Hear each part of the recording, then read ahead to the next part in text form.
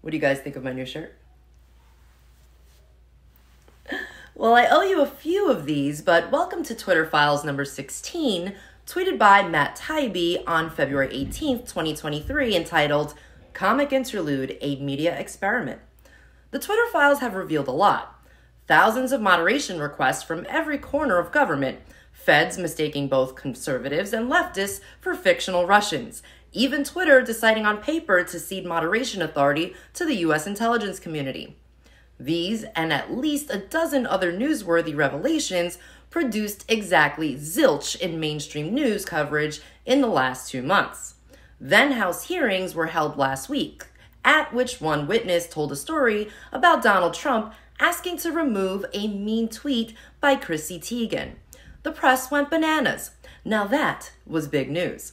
Purely to show the bankruptcy of media in this area, Let's introduce a pair of loud new data points and see if any press figures at all cover either of them.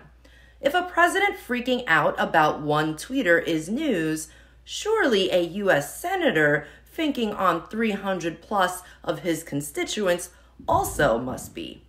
Here's Maine Senator Angus King writing to Twitter to call a slew of accounts suspicious for reasons like Rand Paul visit excitement Bot averages 20 tweets a day. Being followed by rival Eric Brakey, or my personal favorite, mentions immigration. King's office declined comment. If Dick Nixon sniffed glue, this is what his enemies list might have looked like. So, as not to focus only on Dems or those who caucus with Democrats, here's a contribution from Republican Mark Lenzi a State Department official most famous for offering to donate his brain to science after a claimed brush with Havana syndrome. Lenzi wrote to Twitter, bluntly asking to remove 14 accounts distinguished, among other things, by skepticism of Russiagate. The below are some Russian controlled accounts that I think you will want to look into and delete.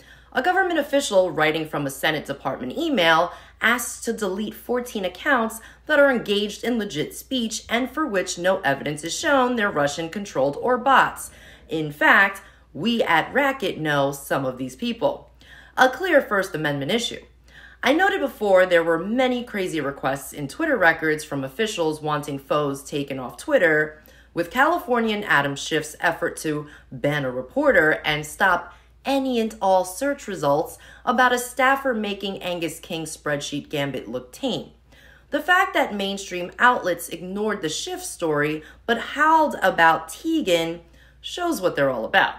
Responses like this are designed to keep blue leaning audiences, especially focused on moronic partisan spats, obscuring bigger picture narratives.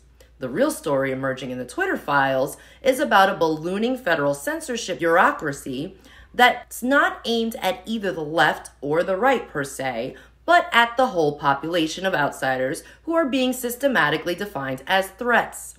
Beginning in March, we'll start using the Twitter files to tell this larger story about how Americans turn their counterterrorism machinery against themselves to disastrous effect through little known federal agencies like the Global Engagement Center, GEC. Taibbi concludes by saying, Until then, if you found yourself on King's list, please DM or write into Racket News. I'm on vacation next week, but we'll mock up Angus King told Twitter I was suspicious, and all I got was this lousy t shirt, shirts when I get back. Thanks for listening.